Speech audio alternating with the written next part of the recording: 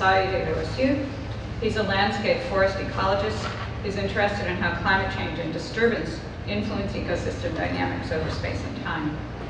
Harold's PhD research focused on tree invasion of subalpine, subalpine parklands in the Oregon Cascades. In addition, he studied tree invasion and meadow decline in the Coast Range, tree line responses to climate change in interior Alaska, and how thinning and prescribed burning can be used to restore historic forest composition and structure in mixed conifer forests of the California Sierra Nevada. Okay, uh, move away from glaciers and skiers and knuckle draggers and indoor ski areas, which is right. Um, and so I want to talk about uh, specifically plants. I'm looking at alpine, subalpine vegetation, uh, tree invasion, climate change here in the Pacific Northwest. Um, I just want to start this off by, Biased here. I think there are some things that are the iconic features of this region. Uh, not a big surprise, we have a great coast. Lots of people come see waterfalls. You really can't talk about the Pacific Northwest without talking about Oak Forest. And um, and I'd argue high elevation areas as well are right in that list of things people think of about the Pacific Northwest. And so now I to kind of take a step back. I'm not sure how well people can see this in the back. We have Oregon and Washington. The red areas are kind of back of the envelope. Here's where alpine vegetation is. So this is not glaciers. Um, this is where we're high elevation, we're above the trees, but there's still plants, there's alpine plants. Um, I wouldn't sweat these numbers because this is really back of the envelope, but alpine areas are not that abundant. Uh, more so in Washington. Uh, they have more elevation, it's farther north. Uh, but especially here in Oregon, we have some great alpine areas, uh, but pretty small. Uh, one could argue, though, that we're fortunate in that they're very protected. Uh, so the red areas are alpine, the dark green is national parks, the light green is federal wilderness areas like Forest Service wilderness. And you can see pretty clearly here, almost all the alpine is in some form of federal protection. I add a question mark there, which I think will become apparent at the end of this talk. Um, when we think of wilderness, often when we think of alpine, there's a misconception of stability and, and protection. Uh, one thing, certainly from talking about glaciers and mass balance, uh, stability is not the name of the game. Uh, regionally, we have trees invading high elevation areas. Since early 1970s, uh, certainly have known from multiple studies, we have trees that are invading these areas. Um, we have glaciers that are shrinking, but I'm going to focus on tree invasion. And this regional story is also a global story. Oh, maybe I want to not talk about the global story just yet. Uh, first, I guess I should talk about why should we care about tree invasion. Um, in a nutshell, high elevations and high latitudes, alpine areas, Arctic areas, all by default have a sensitivity to climate change, just because they're areas that we expect greater changes in things like temperature or snowfall. On top of that, with tree invasion, we have some, in some areas, some serious biodiversity concerns going forward. This example is just kind of generic subalpine meadow. We have some nice lupins right here. You can see some big trees here, and you can see these smaller trees right here that have invaded. These here 35-year-old trees that have invaded. Uh, the alpine plants can't compete under the shade of trees that then come in. They can't compete up with the shade of the forest. So if you get a lot of tree invasion, you have populations of species that are not going to compete in that environment. And it's not just plants. A lot of insects have very species-specific requirements. If those alpine plants aren't there, those insects that require them won't be here. Um, the other point I wanted to make about why care, we should care about tree invasion, when we think about climate change, a lot of times we talk about greenhouse gases and the trapping of energy in the atmosphere. But we also have a process going on the surface of the Earth. You think about if you have a white car and a black car out in the sun in the middle of the summer. The white car is alpine covered in snow. The black car is this dark conifer forest. One of them reflects a lot of radiation and one absorbs a lot of radiation. So you're changing the surface energy balance. Now, I want to talk global. Um, I kind of like this picture. This is uh, a meta-analysis of about 160 tree invasion studies. And the main thing to think of here is all the black dots, which are about half of them, are documented tree invasion. So tree line moving up, trees establishing in alpine areas. The other half, no change. So what it's saying is that there's trees invading in all these areas. It's a global eco ecological phenomenon going on across climate regions, different species, different landing systems. And the global story is this is happening because of increasing temperatures. But you really want to hesitate when you talk about that global synthesis, that global story. You can't just drop it down on a local or regional story. Um, so the rest of what I want to talk about today is the local story, specifically uh, a place called Jefferson Park. Just out of curiosity, how many people here have been to Jefferson Park? Oh, wow. Okay, so that's enough that's really good, but I don't want anyone else to go there. Um, because it's a really beautiful place. Um, so Jefferson Park, right here in Oregon, uh, here's a close-up up here. This is Mount Jefferson. Jefferson Park is just above it. Uh, here's a zoom in of this basin uh, that's created by glacial advance and retreat. It's got some nice lakes. You can see these dark areas. These are islands of trees. The, uh, these lighter areas are meadows. Um, and I'm not sure if you can see this in the back, but there's these red outlines. And these are debris flows. And these will become important uh, when I'm talking about climate change and tree invasion. So obviously, for the people who have been there, uh, it's a great place. Uh, beautiful views of Mount Jefferson. You can see here's Jefferson Park right here. Uh, this is taken right on the Pacific Crest Trail. So very popular uh, backpacking and recreation area. It's a great place to take a nap, uh, at least in the summer. And then obviously it has uh, just amazing subalpine meadows, lots of wildflowers. Um, what more can I say here? Uh, what I really want to know about Jefferson Park is know this one small area in detail. Uh, you know, a lot of different pieces of data to bring together to understand that. But it really boils down to, I want to know uh, how has tree invasion occurred over space and time in this one place?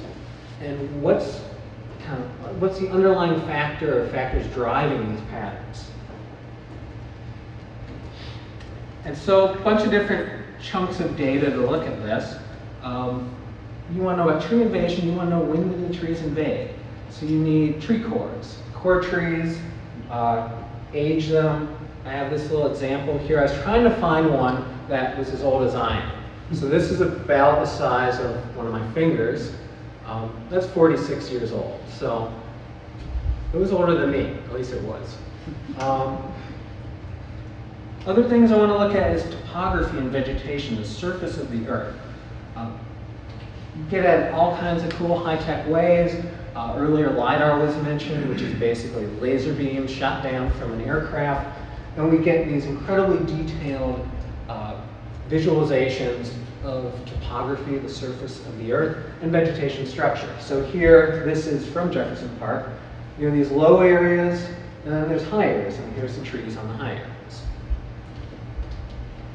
Alpine areas have snow, subalpine areas have snow, so bunch of snow surveys.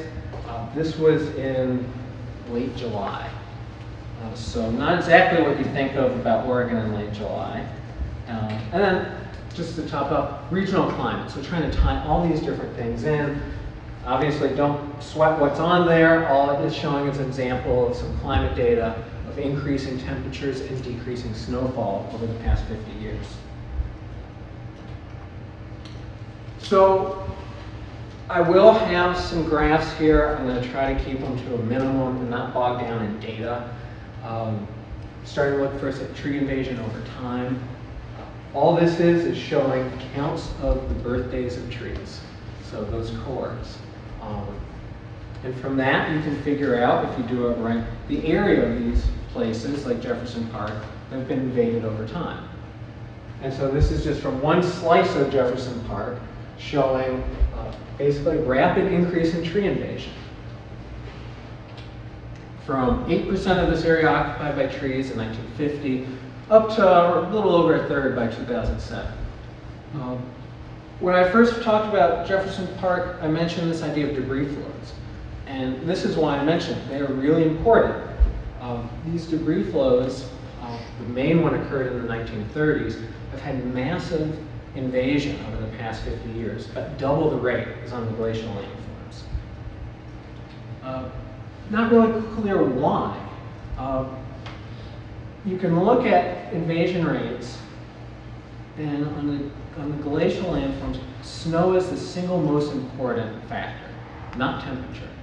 More snow, less invasion. Less snow, more invasion. I will have to show one other graph. Um, again, just to make that point, more snow, less invasion. Uh, but the debris flows with this really rapid tree invasion, it's not correlated with snow. So why is that? Um, it's not really clear. Is it decoupled from climate? Has some threshold been reached where this relationship doesn't work anymore? Not clear. The only thing that's clear is that this is context dependent. The sensitivity of the system to climate change depends on this context. And this spills over into tree invasion over space as well. Uh, not a big surprise given the importance of snow over time, the spatial patterns of snow depth in the summer also influence where the trees invade.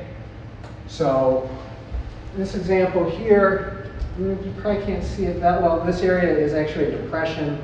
Uh, there's meadow here, there's no trees, tons of snow. On these ridge tops, there's no snow, there's plenty of trees.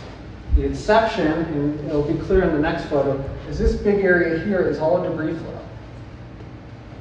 And much less snow on it. So there's all these interactions going on that influence where is the snow in space. Topography, so a ridge top of less snow. And if there's existing trees somewhere, that also has the same effect, it reduces snow. And the result is very different spatial patterns. This is the glacial landform here. You can see it's the trees are clustered. Here's that debris flow. It's this nice smooth green, wall of young hemlock. You can look at it in a really high-tech way with LiDAR. Uh, same thing, here's these little ridges. There's less snow here, trees grow.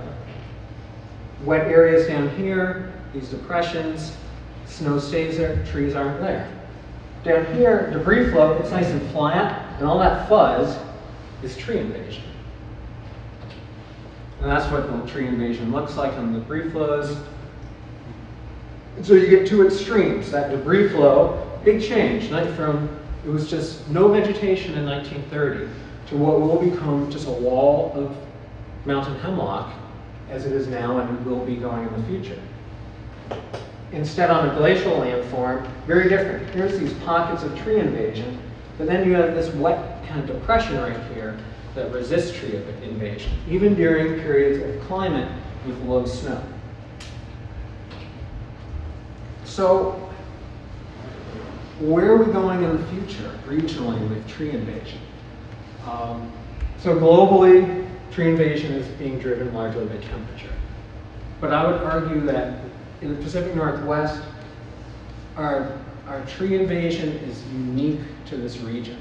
The maritime climate that we have, moderated climate with very deep snowpack at high elevation, creates a system that's much more dependent on snow uh, than temperature, even though obviously the two are intertwined. Uh, you can look at regional models going in the future. We suggest that there's pretty modest increases in temperature, but we expect fairly significant decreases in snow. And so unless you understand that relationship of what, the, what environmental factors are driving change, uh, just from temperature alone, we think, oh, it wouldn't be that big of a deal. But it's that change in snow that's really going to be the kicker for future tree invasion. Um, Obviously, I said this once or twice, but context really matters. There's a variety of things that influence tree invasion in these systems at multiple spatial scales, multiple temporal scales as well. Um, but on the spatial, we have these debris flows, which are going to probably become more common in the future. As glaciers, if we have more glaciers melting, it creates more instability on the steep slopes and the cascades, which has more potential for debris flow hazard. The flip side of that, though, is those wet meadows that resist tree invasion could be micro refugia for a lot of species. They could be very resistant to tree invasion going into the future, even if the larger system is under a very unfavorable mm-hmm. climate. So I wanted to wrap this up with coming back to wilderness because I started with this idea of alpine being protected. Um, we really in the region have this benefit of some nice large wilderness areas that are interconnected. And, and that's unquestionably a good thing. Uh, we have interconnected, diverse ecosystems, uh, there's opportunities for different ecosystem configurations, opportunities for migration of organisms. No question it's good for resilience and adaptation to climate change. But clearly climate change doesn't stop or acknowledge wilderness boundaries. Um, I think this brings up some philosophical and legal questions or dilemmas when we think about these systems and climate change. Uh, three pretty easy ones off the top of my head. People talk about assisted migration, moving plant species from one place to another. We're talking about alpine areas, we're talking about moving them in congressionally designated wilderness. Is that legit? Is that going to, you know, make it through a lawsuit? Is that morally acceptable? Uh, maybe. One that's probably not is tree removal. Let's say we have alpine meadows with some very high-risk endangered species. Trees are invading it. We could easily, in the short term, try to maintain those species by cutting out some of the trees that are invaded. Is that going to fly? Doubtful. And then finally, being a researcher and wanting to do research, one of the big questions in these systems is we can look retrospectively, but in order to know what's going to happen in the future, the best way to know is to experimentally force future, future climate conditions on experimental units now. Well, that means setting up infrastructure in wilderness areas. There might be a few places that are not in wilderness in alpine where we can do that, but there's very few. So, especially after yesterday's keynote, I think this kind of boils down to me that if I'm thinking about how we view alpine areas and tree invasion and climate change, I think it really boils down to does climate change impose our will, society's will, uh, on alpine wilderness areas, on those ecosystems, on those organisms? And if it does, it calls into question you know, how we view these systems in the future. So that's it. Thank you.